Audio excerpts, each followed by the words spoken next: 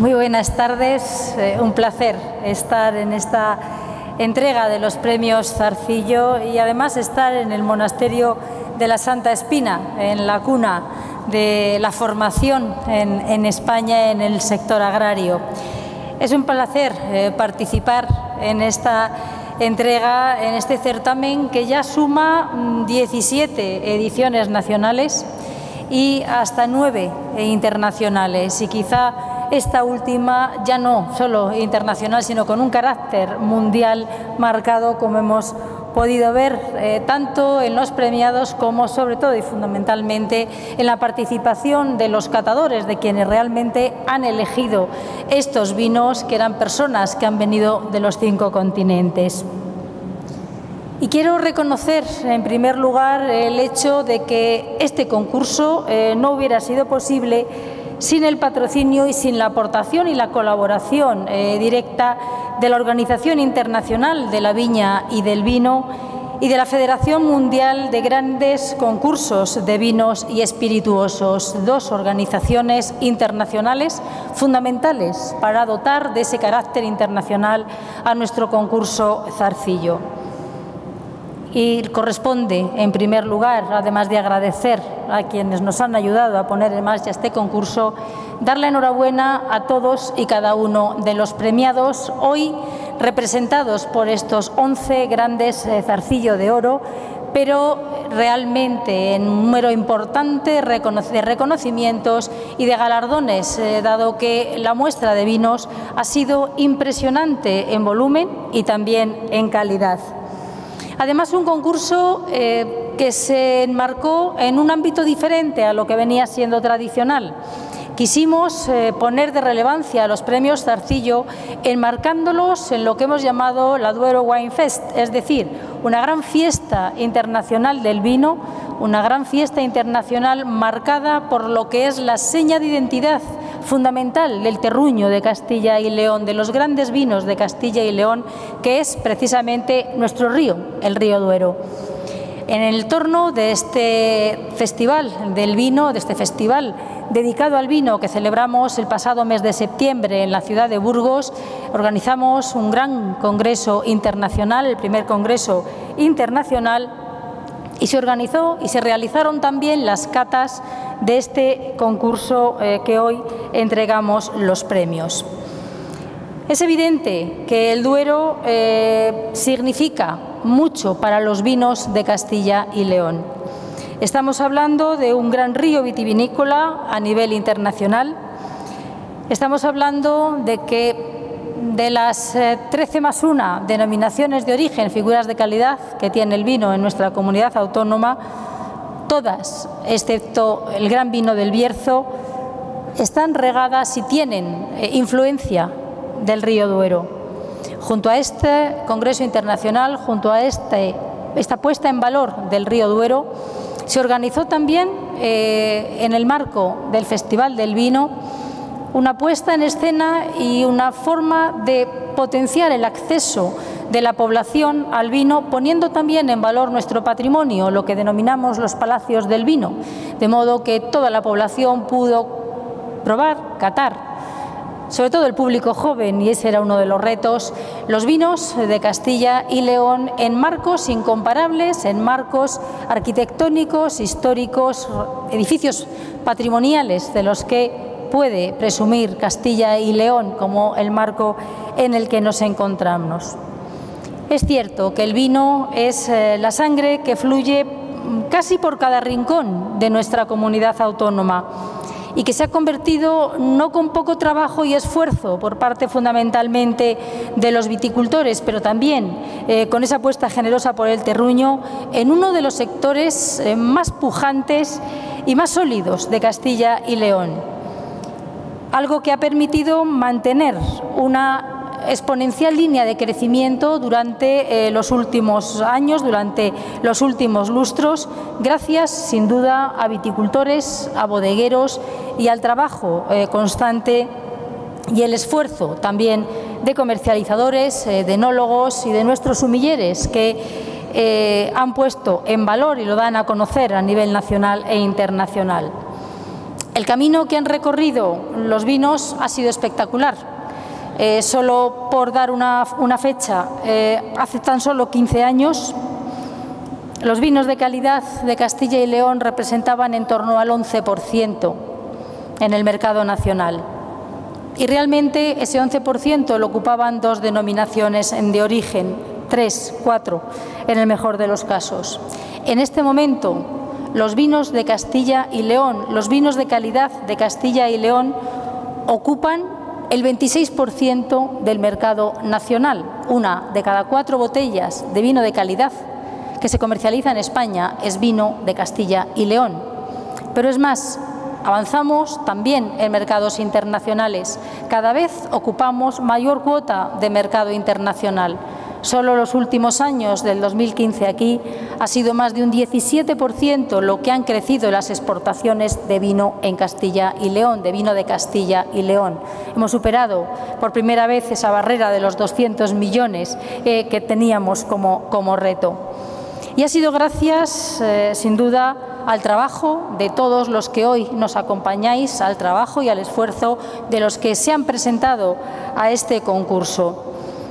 Y quizá hay un hecho diferencial, como decíamos eh, al principio, y es lo que hemos pretendido poner en valor en esta edición, y es, sin duda, el río Duero. Nadie duda de que el Duero es uno de los grandes cauces vitivinícolas del mundo, capaz de moldear vinos de personalidad única a partir, y lo han dicho los premiados, de diferentes suelos, de diferentes terruños y también de diferentes variedades.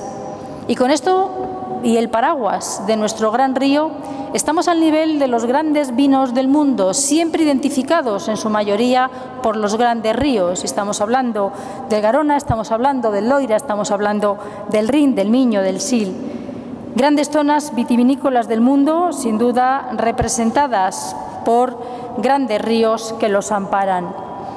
Por eso, precisamente, hemos querido en Castilla y León, tierra del vino, tierra de grandes vinos, apostar en esta edición de Los Zarcillo por ese amparo que nos da nuestro río a todas las denominaciones de origen de Castilla y León, salvo nuestro querido Bierzo. Y además lo hacemos en el monasterio de la Santa Espina, centro de formación agraria no cualquier centro, el centro de formación agraria más antiguo de España, data de 1886. Y yo quiero agradecer que hoy nos acompañan todos los directores que han sido de este centro, salvo una persona que desgraciadamente no nos puede acompañar, Pedro Llorente, al que hemos perdido hace muy pocos días. Este centro gestionado además por la Administración Autonómica, ha titulado ya a más de 5.000 alumnos.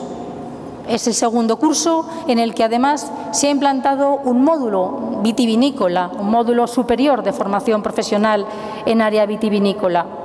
300 títulos ya impartidos relacionados específicamente con el vino que están contribuyendo precisamente a que cada vez más jóvenes estén formados y preparados para atender eh, con éxito nuestro sector vitivinícola.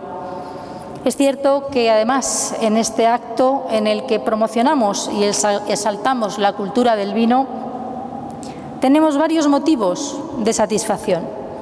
Y yo creo que debemos ponerlos en valor porque son fruto del trabajo de todos, fruto del trabajo conjunto de todos los que estamos aquí.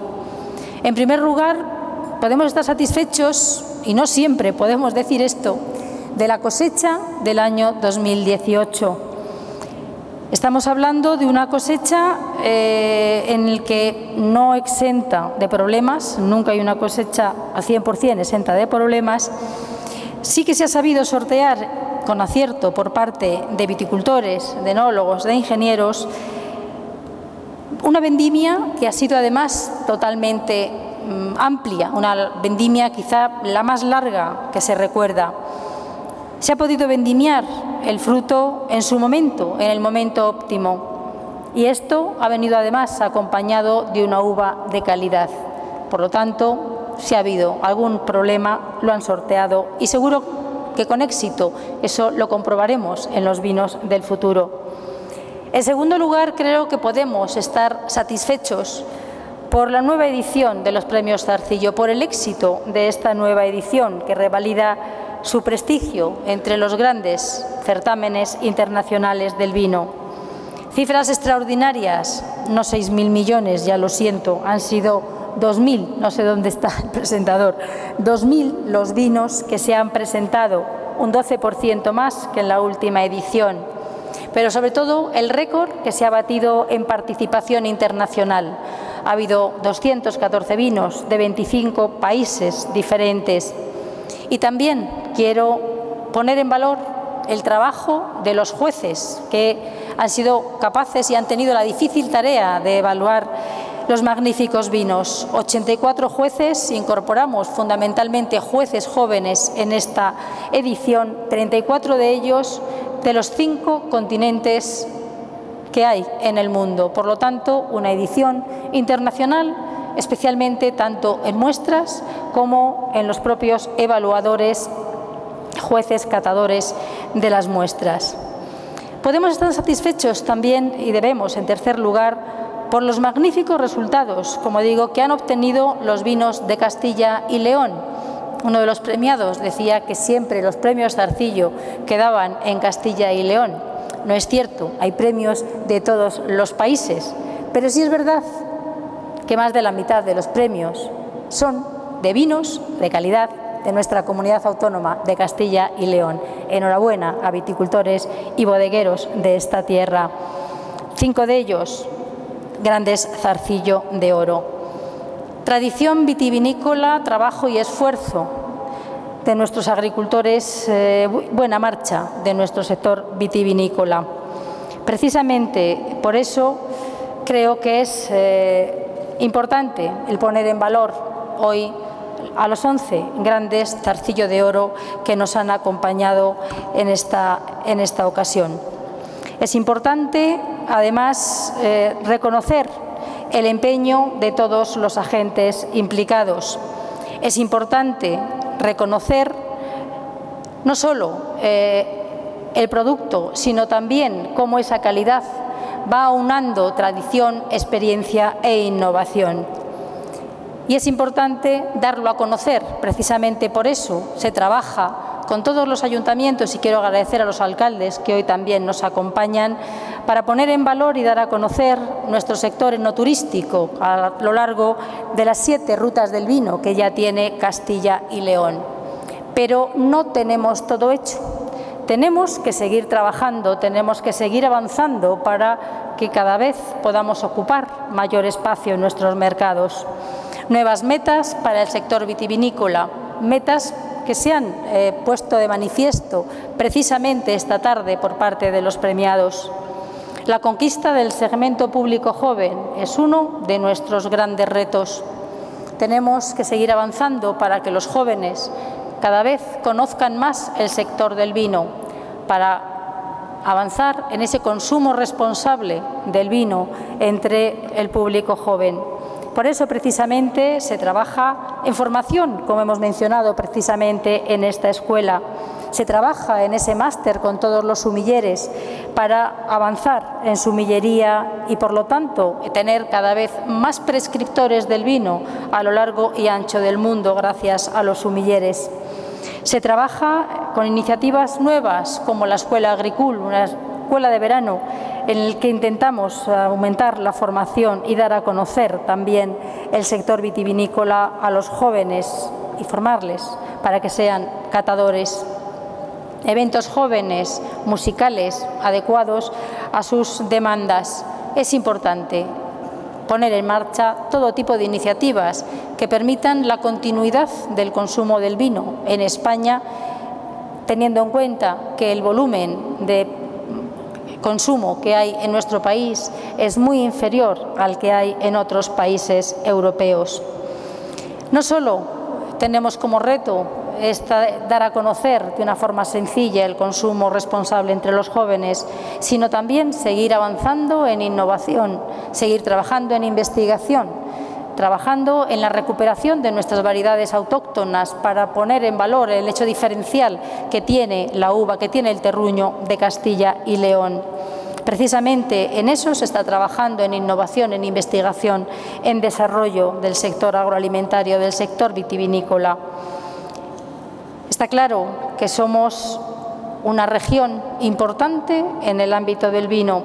Tenemos que ser capaces de conservar todo lo bueno de la, tradición, rejuvenecer e innovar, aprovechar ese gran paraguas que es el Duero para que funcione y que sirva de motor y de impulso nacional e internacional a nuestros vinos.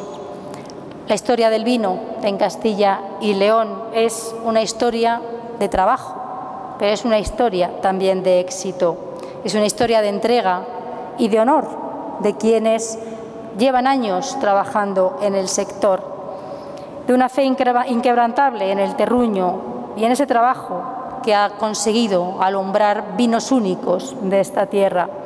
Y esto se consigue porque la unión entre la naturaleza y el trabajo del hombre, la mano del hombre, es fundamentalmente generosa y permite dar calidad a nuestros vinos y que esta calidad continúe siendo fructífera y alardeando del nivel, del mismo nivel que abre la puerta a los mercados más exigentes y que nos permite seguir siendo uno de los iconos referencia a nivel internacional, pero que a su vez permite que el vino sea uno de los iconos económicos y gastronómicos más reconocidos de esta tierra, un recurso que ondea la bandera de Castilla y León por todo el mundo, codeándose sin complejos con vinos de talla mundial. Enhorabuena a todos los premiados. Estos premios Zarcillo continuarán poniendo en valor su trabajo. Enhorabuena y fuerza para seguir creciendo, para seguir mejorando. El éxito de bodegueros, el éxito de viticultores, el éxito de todos los que hoy nos acompañáis, de todos los que han presentado muestras al concurso Zarcillo, de todos los que habéis recibido estos premios, es el éxito de Castilla y León, es el éxito de nuestra comunidad autónoma. Muchísimas gracias y enhorabuena de nuevo a todos los premiados.